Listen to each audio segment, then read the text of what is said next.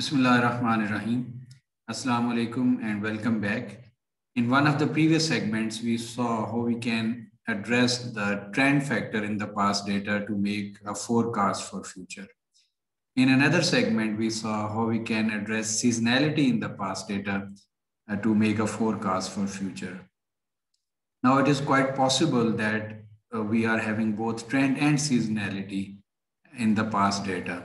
So we could have a situation like this, where the demand is increasing over time, uh, but the product by nature is a seasonal product. So we are having seasonal peaks like these.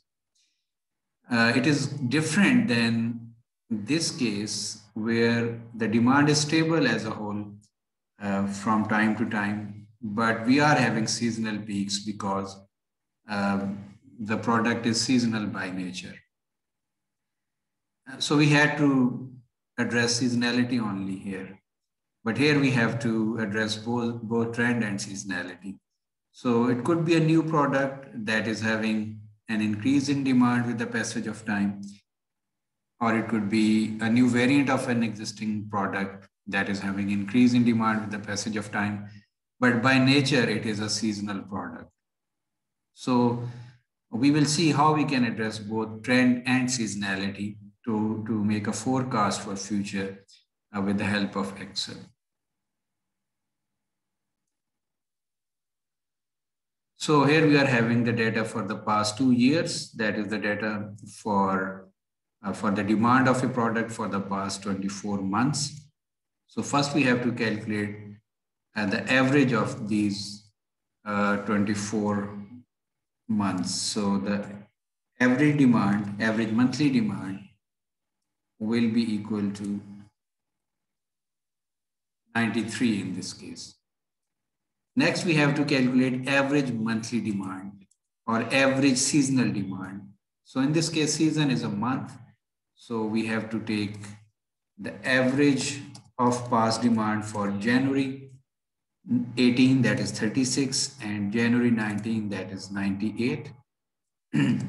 so the average of these two uh, this 36 and 98 turns out to be 67. So this is the average of this 36 and this 98. Similarly, we have to take the average for February 2018, this 42, and February 2019, that is this 101. So we can simply drag.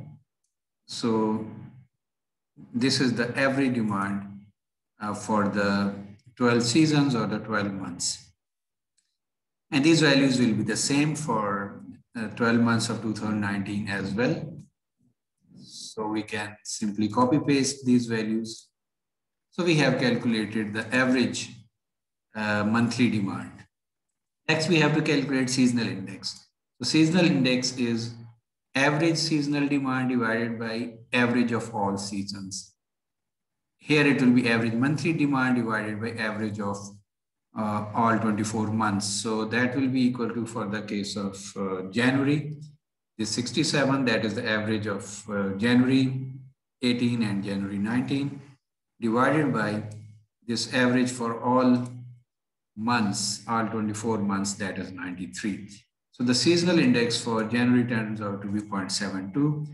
We can fix the cell containing the average of all 24 months, the value of 93 in this case, by pressing the F4 key. And then we can simply drag to calculate the seasonal index from uh, January to December. And notice that uh, seasonal index for January will be the same because we are taking the average of the same two values and same will be true for February as well. Next, we have to calculate deseasonalized demand. So that will be equal to actual demand divided by the seasonal index for that month. So that turns out to be 50 for January uh, 2018 Actual demand for February is 42 divided by the seasonal index of February. So that turned out to be 55. For March, it is 56. 56 divided by the seasonal index for March that is 0.82. So the deseasonalized demand turns out to be 68. So you can uh, simply drag to calculate the deseasonalized demand for uh, the rest of the months as well. So we have calculated the deseasonalized demand. Now we have to find the intercept and slope. So intercept function can be used to calculate intercept. We need to uh, give the known y's. So that is the actual demand that we have actually deseasonalized in this case. So the known y's will be this deseasonalized demand and known x's will be uh, these month numbers. So that is the independent variable. So the intercept turns out to be 78.71. Next, we have to find the slope. So again, we have to uh, give known y's. So that is the demand. In this case, that is deseasonalized demand. And known x's are these month numbers. These 24 months. So the slope turns out to be 1.18. Next, we have to calculate linear trend line forecast. So that will be equal to A plus BX or intercept plus slope into month number. So this 78.71 plus uh, this 1.18 into 1 for January.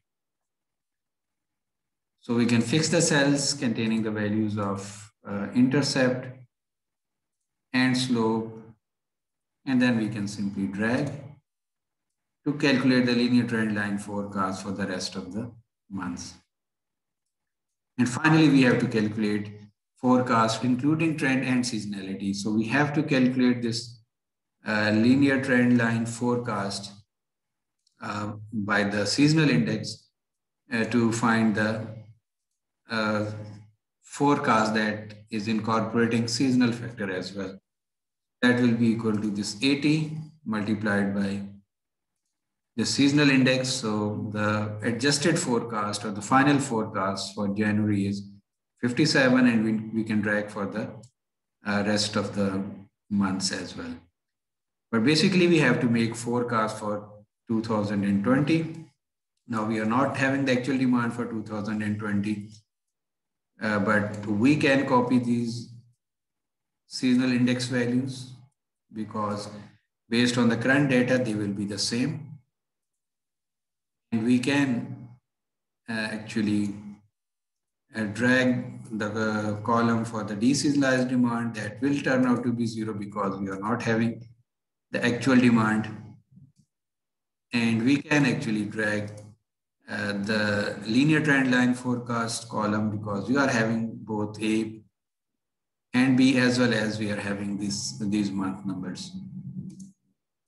So we can drag this column, the fits column to calculate the forecast for uh, 2020. So th these are the final forecast values. Now please notice that once we uh, get the actual demand values for 2020, uh, these forecasts may, uh, may change. For example, if the actual demand turned out to be uh, 120, so you could see that the some of the forecast values have been updated. And similarly, once we come to know of the actual demand for February, so some values may adjust. So we are making this forecast on a, a rolling basis. And you can calculate the error, absolute error, error squared, and absolute percent error. And finally, corresponding mean absolute deviation, mean squared error, and mean absolute percent error values. Uh, if you have forgotten the formulas or are not clear about that, you can refer to the segment on measures of forecast error to calculate these values. So the basic process has been first to calculate the average of all seasons, in this case, uh, 24 months, then calculate the average of each season, and then average of a certain season divided by average of all seasons. And in this case, Average monthly demand divided by average of all months gave us the seasonal index. Actual demand divided by seasonal index give, gives us deseasonalized demand using the regression equation or equation of the line. Uh, we can calculate the forecast using trend and then multiply that forecast with the seasonal index of the corresponding month gives us the seasonally adjusted forecast. So we have considered both trend and seasonality to make the forecast uh, in this case. Thank you.